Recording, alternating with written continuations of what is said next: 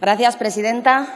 Señorías, el Parlamento solo tiene una herramienta legítima a la que debe su nombre, la palabra. Y solo hay, o debería haber un objetivo, entendernos con las palabras. Por eso tenemos un problema cuando abusamos de ellas, porque hay palabras que si se aplican a cualquier cosa, se banalizan y acaban por no significar nada. Y entonces puede costarnos nombrar, incluso reconocer lo que tenemos delante, aunque sea muy obvio. Así es que, con su ayuda, señora Bascal, y con la de todo su grupo, vamos a aclarar los términos y a intentar llamar las cosas por su nombre. ¿Quiénes son y qué pretenden? Lo ha dejado claro su secretario general, alabando a dirigentes fascistas y amenazando con ilegalizar a partidos como el PNV, como hizo usted ayer aquí con vehemencia, por cierto. ¿Quiénes son? Lo ha dejado claro su eurodiputado Jorge Buxade, repitiendo lemas del régimen de Vichy, colaboracionista del nazismo. También su diputada, Rocío de Mer, que se dedica a promover en las redes sociales mensajes de partidos neonazis de toda Europa. Mire, han atacado a diputados de esta Cámara, han atacado al señor Pisarello por su origen argentino y han atacado a mi compañera Beatriz Carrillo por ser gitana. Beatriz, en romaní, opre romnia, compañera.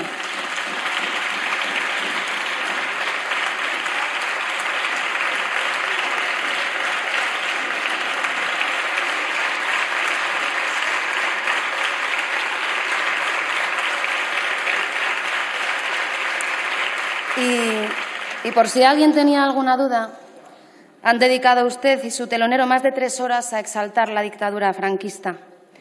Por tanto, llamemos a las cosas por su nombre, son ustedes un partido fascista.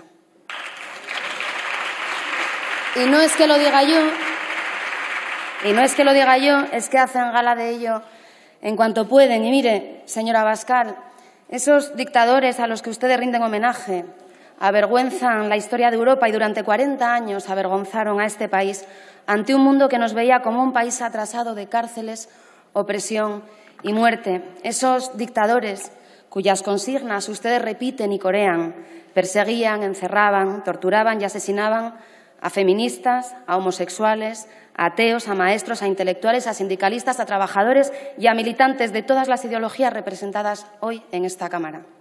Perseguían encarcelaban y asesinaban a militantes del Partido Comunista, a liberales, democristianos, nacionalistas, regionalistas y a militantes del Partido Socialista como Indalecio Prito y Francisco Largo Caballero.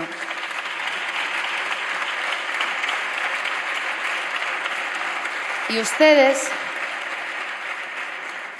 y ustedes, los defensores de las tiranías más vergonzosas de la historia, vienen a esta Cámara a hablar de libertad, y llamar totalitario a un gobierno elegido por ciudadanos libres en un país libre.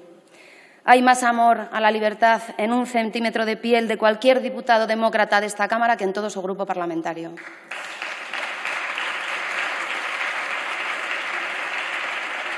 Y es verdad, y es verdad que de algunos partidos me separa casi todo. Pero hoy lo importante es precisamente ese casi, porque ahí es donde nos reconocemos los demócratas frente a quienes defienden a dictadores y tiranos. Señora Bascal, el candidato de prestigio que prometían, se ha tomado usted cuatro meses y unas largas vacaciones antes de esta urgentísima moción de censura para salvar a España a base de insultos y amenazas. Y mire, esta semana se cumplen nueve años del fin de ETA, con un gobierno socialista al frente. Fuimos los demócratas quienes acabamos con el terrorismo. Y usted, señora Bascal, utiliza a las víctimas intentando asociar su nombre a su miserable proyecto franquista.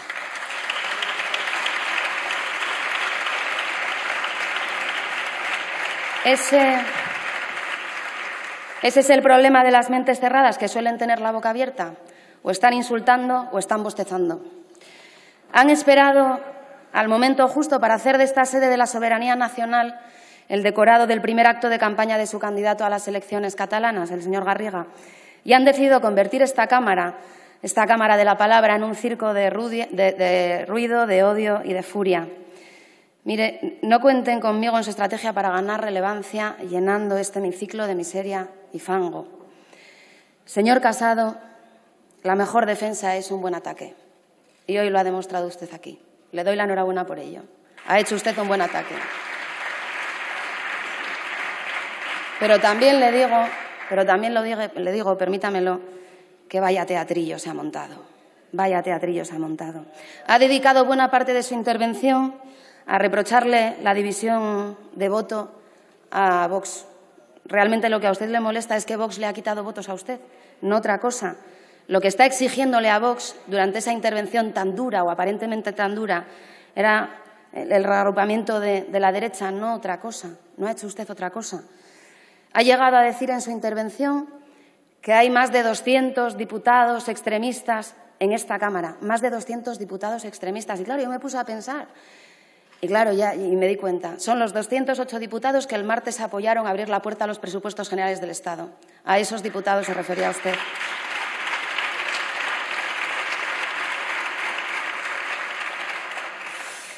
Yo creo que ir al día de que, tal y como están haciendo todos los partidos, usted, señor Casado, mm, hubiera defendido la democracia frente al extremismo. Y no lo ha hecho, solo ha reivindicado el poder hegemónico en la derecha.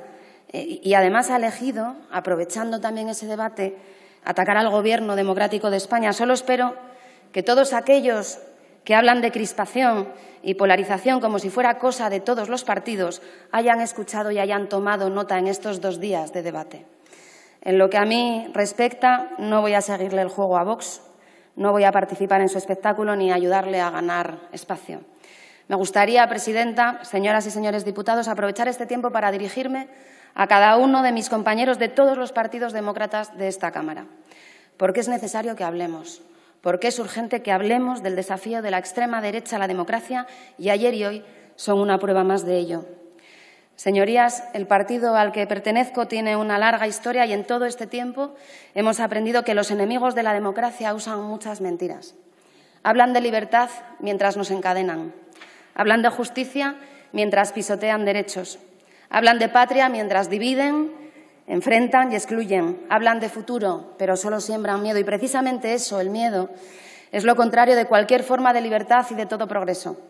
Porque un corazón lleno de miedo está vacío de esperanza y nada se puede construir sin ella. Decía Jorge Guillén, y acertaba, que cuando se pierde la esperanza uno se vuelve reaccionario. Hoy el partido del miedo ha vuelto a Europa y también a España. Siembran el miedo porque el miedo paraliza y nos quieren quietos, porque el miedo silencia y nos quieren callados, porque el miedo alimenta odios y nos quieren divididos y enfrentados a unos territorios con otros, a unas comunidades contra otras y a unos ciudadanos contra otros. Yo, señorías, no temo por la democracia española. Creo que esta ultraderecha es el último aliento de una ideología fascista condenada ya a los márgenes de la historia. Durante 40 años tuvieron todo el poder y usaron todo el poder para intentar que desapareciera el deseo de libertad del alma de los españoles. Pero en cuanto se puso una urna, los españoles decidieron que eran ellos quienes tenían que desaparecer.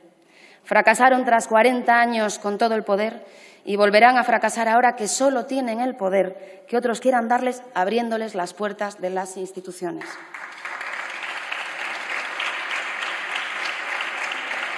Por eso, por eso yo no temo por la democracia, pero sí me preocupa el miedo que usted, señor Casado, tiene a la extrema derecha porque ahí sí pueden hacer daño. Ahí sí pueden hacer daño. Es verdad que el miedo puede arrastrar a cualquier extremo y a usted le está llevando a un extremismo que nunca queríamos volver a ver en la derecha española, porque de ellos nadie espera más de lo que están haciendo, dividir, enfrentar y extender el odio. Pero a usted la gente le escucha como a un político serio de un partido de gobierno, señor Casado. Y tenemos un problema si usted se dedica a extender su programa y sembrar lo que ellos cosechan, porque aunque hoy venga aquí muy enfadado a simular distanciamiento, usted sin Vox no es nada, señor Casado. ¿Van a romper en Madrid, en Andalucía y en Murcia?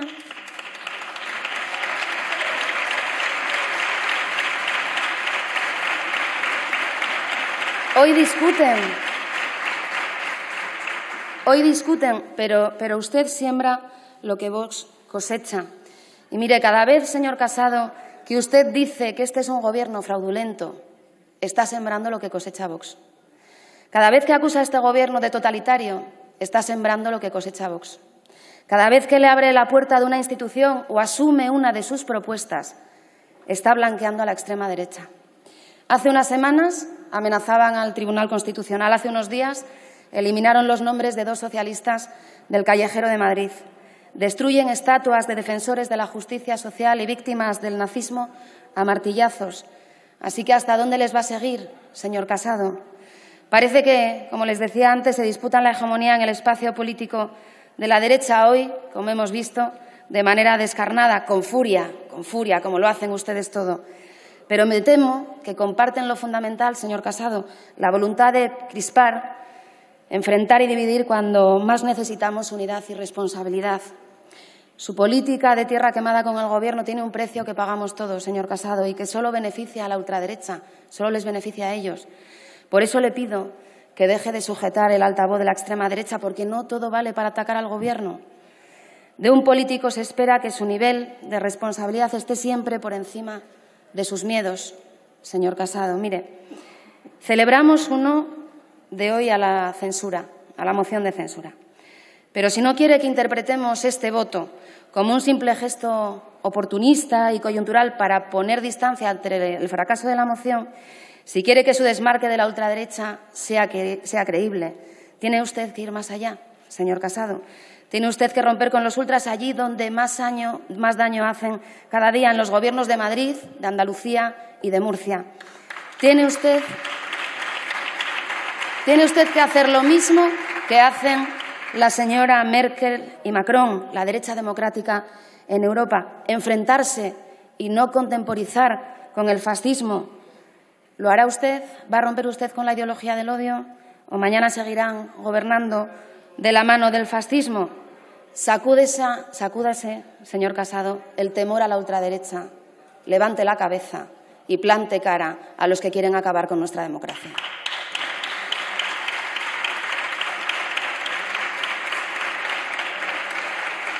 Señorías, este no es tiempo para temer, es un tiempo para comprender y entender. No solo estamos en una era de cambio, sino que estamos ante un cambio de era y de nosotros depende el rumbo que tomemos. Sé que hay mucha gente que critica la discusión, a veces vehemente, en esta Cámara. Yo no comparto esa opinión. Creo que este es el lugar para confrontar argumentos y proyectos. Creo que este es el lugar en el que tenemos que exponer las alternativas. Este es el lugar en el que expresar nuestras diferencias. Y es importante que así sea porque este también es el lugar para negociar, pactar y acordar sobre esas diferencias. Esa es la razón de ser del parlamentarismo y por eso creo que que usted y yo, señor Casado, señora Gamarra, ustedes y nosotros tenemos que seguir hablando siempre. Y tenemos que seguir hablando con el señor Iglesias, con el señor Esteban, con el señor Valdoví, con el señor Errejón, con el señor Rufián, con cada uno de los diputados demócratas de esta Cámara. Tenemos que seguir hablando no pese a nuestras diferencias, sino precisamente por nuestras diferencias, porque vivimos juntos y vamos a seguir haciéndolo. Vamos a seguir viviendo juntos unos y otros. Y el problema Escúcheme bien, señor Casado, no es que hablemos con unos o con otros, el problema real será si dejamos de hablar. Porque si nosotros dejamos de hablar, como quiere el señor Abascal, y como usted parece defender irresponsablemente, veto tras veto, bloqueo tras bloqueo, eh, si dejamos de hablar, señor Casado, ¿qué nos queda? ¿Qué nos queda? Lo sabe usted igual que lo sé yo y todos los que están escuchando estas palabras. La política no puede ser solo confrontación y bloqueo. Por eso le digo una vez más que se equivoca con sus portazos, sus vetos y sus negativas a dialogar.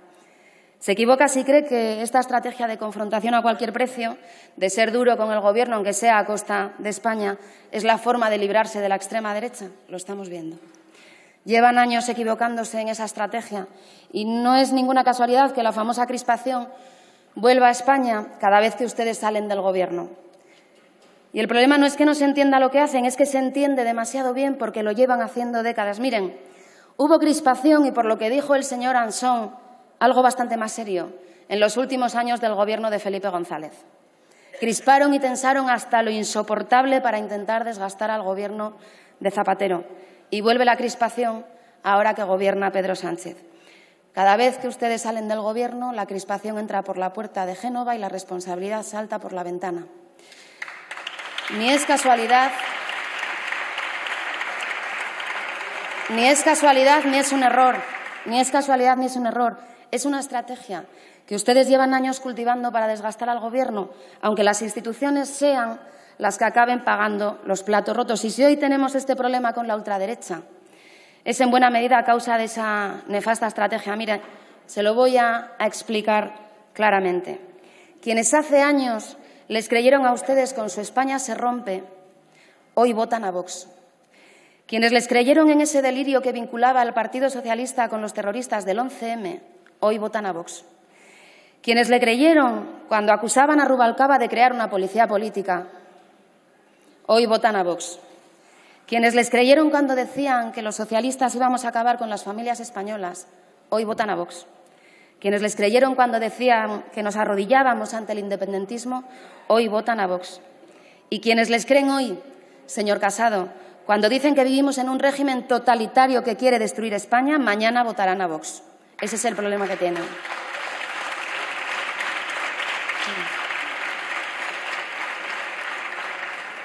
Rectifique, señor Casado, porque se están equivocando ustedes completamente. No desprecie tampoco lo que significa esta moción de censura. No desprecie a su rival en la extrema derecha y esto nos vale a todos nosotros. No despreciemos la amenaza real que la extrema derecha supone para la democracia en Europa y en España. Tómeselo en serio y rectifique, porque no es cierto que la sociedad española, que la ciudadanía española viva crispada. Eso es lo que intentan trasladar algunos. Miles de alcaldes y concejales de toda España trabajan cada día desde la responsabilidad y la normalidad democrática. La inmensa mayoría de los presidentes de las comunidades autónomas trabajan cada día desde la lealtad y la cooperación, y la cooperación institucional. Estamos avanzando, lo explicaba ayer el presidente, junto a los agentes sociales y desde el diálogo social más que en muchos años, y quiero agradecérselo a todos ellos. Esa es la España de cada día la que planta cara a los problemas con esfuerzo, con lealtad, con la palabra, con mucho diálogo y con toda la responsabilidad. Y el ruido, como en esta Cámara, siempre viene del mismo lado. Solo se les escucha crispar a ustedes, señor Casado, a usted, a la señora Ayuso y a la extrema derecha que cada vez les arrastra más lejos. Llevan ustedes años alimentando a un monstruo al que todo le parece poco y que ha acabado por convertirse en su pesadilla y en un problema para todos. Lo sorprendente es que, lejos de aprender, sigan ustedes repitiendo los mismos errores y usted llega incluso más allá de quienes les precedieron. Miren, los seres humanos somos seres simbólicos y los gestos son importantes para las personas. Ensalzamos aquello en lo que creemos y aquello en lo que nos reconocemos. Y mire, Álvarez del Manzano fue alcalde de Madrid con mayoría absoluta. Lo fueron Alberto Ruiz Gallardón y lo fue Ana Botella. Y no fueron buenos años para esta ciudad. Pero a ninguno de ellos se les ocurrió atentar contra la memoria de dirigentes políticos que combatieron a la dictadura durante décadas.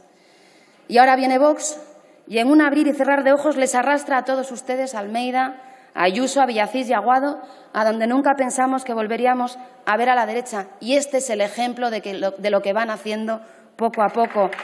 Poco a poco les están arrastrando. Y eso Señor Casado, su temor a una extrema derecha que cada vez les arrastra más lejos, eso sí nos preocupa a todos los demócratas porque ellos solo tienen el espacio que ustedes les dejan. Escuche usted menos a los dirigentes de Vox y escuche un poco más a los dirigentes de su partido que le piden que plante cara a la extrema derecha, que le piden una y otra vez moderación. Señorías, la ultraderecha se alimenta del miedo y de la incapacidad o la falta de voluntad de la derecha mayoritaria para plantarle cara, pero se alimenta también de la ansiedad y la angustia de una era de dificultades y cambios profundos como la que vivimos. Durante meses hemos dicho que la, epidemia no distingue entre unos y otros y hoy sabemos que no es cierto, que afecta más a quienes viven en pisos más pequeños, a quienes se tienen que desplazar cada día hacinados en vagones de metro, a quienes incluso no se atreven a hacerse una PCR por temor a perder su empleo. Y sobre ese fondo de angustia también intenta echar raíces venenosas la extrema derecha, y ahí debemos combatirla todos nosotros. Debemos hacerlo evitando que engañen a los trabajadores que más sufren la angustia de la crisis.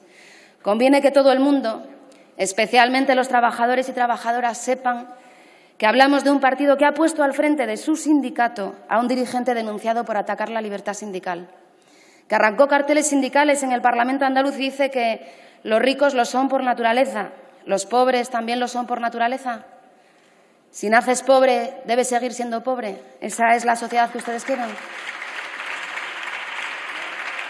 Un partido, Un partido que quería suprimir el impuesto de sucesiones que solo beneficia a las grandes fortunas, cuyo gurú económico defiende que la sanidad y la educación sean privadas para el que se las pueda pagar. Un partido que ni siquiera se dignó a participar en la Comisión de Reconstrucción y votó en contra de proteger a los trabajadores y los autónomos, que llama chiringuito a cualquier política de protección de las mujeres o de los trabajadores, pero con un dirigente que se llenó los bolsillos con cientos de miles de euros de un chiringuito montado por Esperanza Aguirre para su, para, su provecho. De eso estamos hablando. Así que que nadie, que nadie se engañe. La extrema derecha no ha venido a proteger a ningún trabajador, ha venido a aplastarlos. Han votado en contra de los ERTES, que han protegido el empleo de miles de trabajadores durante la pandemia. Votaron en contra de ampliar la prestación por desempleo de los trabajadores despedidos en periodo de prueba. Votaron en contra de regular el teletrabajo. Votaron en contra de los préstamos ICO. Votaron en contra del permiso retribuido recuperable. Ustedes no han venido a defender los derechos de los trabajadores, han venido a arrasarlos. A eso han venido. Así, así es fácil también entender Así es fácil también entender su odio hacia quienes dedicaron su vida a mejorar la vida de los trabajadores. Hubo una persona que destacó entre muchas otras en la defensa de los trabajadores, que participó en la creación de la Organización Internacional del Trabajo, que sentó las bases del derecho laboral español, que estableció el seguro de maternidad, el seguro de accidentes, la jornada de ocho horas, el derecho a huelga, la negociación de los convenios colectivos, que amplió el seguro obligatorio de retiro. Su nombre era Francisco Largo Caballero.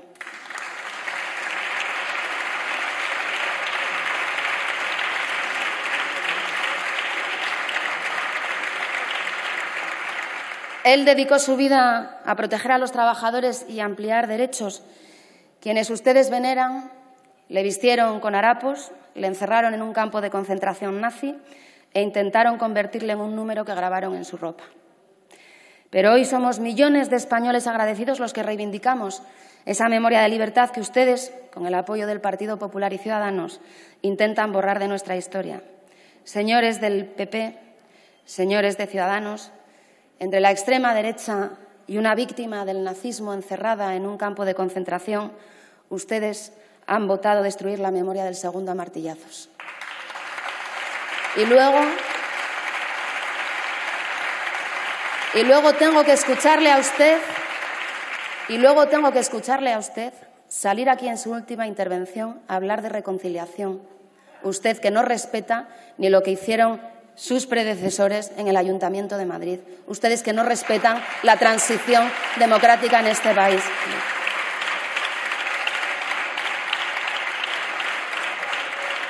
Lo que ustedes, lo que ustedes han hecho se llama blanquear al fascismo y eso sí, que avergonzaría a cualquier demócrata. Pero, señorías, no basta con desvelar las mentiras de la ultraderecha. Tenemos que combatir la angustia de la que pretenden aprovecharse. Por eso la salida a esta crisis no solo debe ser sanitaria, debe ser también social. De ahí el empeño del Gobierno en sacar adelante un escudo social que no deje a nadie atrás y que sirva de salvaguarda y protección de nuestras libertades. Un salario mínimo más digno nos hace más libres. El ingreso mínimo vital nos hace más libres. Asegurar los derechos de los trabajadores nos hace más libres. La educación y la sanidad pública nos hacen más libres. La justicia social no debe ser solo uno de nuestros principios, debe ser el fin y el objetivo de cualquier gobierno democrático en este tiempo incierto. Necesitamos unos presupuestos sociales, con políticas sociales, más y mejor sanidad pública, más investigación y ciencia, más y mejor educación pública, más y mejor protección de los derechos de los trabajadores, más y mejor protección a los autónomos, más y mejores posibilidades para los jóvenes, más y mejor protección a los pensionistas, porque, señorías, no se trata de elegir entre libertad e igualdad. Nunca se ha tratado de eso. Se trata de que todos seamos igualmente libres, igualmente libres. Señorías, algunos partidos de esta Cámara son más recientes y otros tenemos una larga trayectoria. Una historia diferente para cada uno de nosotros, sin duda porque cada uno llegamos a esta Cámara por un camino propio. Pero en todos esos relatos que recordamos y que repetiremos a las generaciones más jóvenes, hay un espacio para quienes defendieron la democracia contra la tiranía, para quienes levantaron un país libre, para quienes se negaron a la exclusión y rechazaron la intolerancia. Comenzaba esta intervención diciendo que hay diferencias entre nosotros, que de muchos partidos me separa casi todo, pero hoy lo importante es ese casi, porque es donde nos encontramos los demócratas. Porque en ese pequeño casi, que a veces en el día a día parlamentario parece reducirse a poco, hay espacio para todos los que creemos en la libertad, la justicia y la democracia. Un día se asombrarán de que lleguemos, escribía María Teresa León. Un día se asombrarán de que regresemos con nuestras ideas altas como palmas para el domingo de los ramos alegres. Nosotros, los del paraíso perdido, llegaremos, regresaremos con la ley y os enseñaremos las palabras enterradas. Busquemos siempre las palabras, señorías, trabajemos desde la palabra, defendamos eso que, frente a la intolerancia y el extremismo, nos une a todos los hombres y mujeres libres de esta Cámara y de toda España, la libertad y la palabra. Muchas gracias. Muchas gracias, señora Lastra.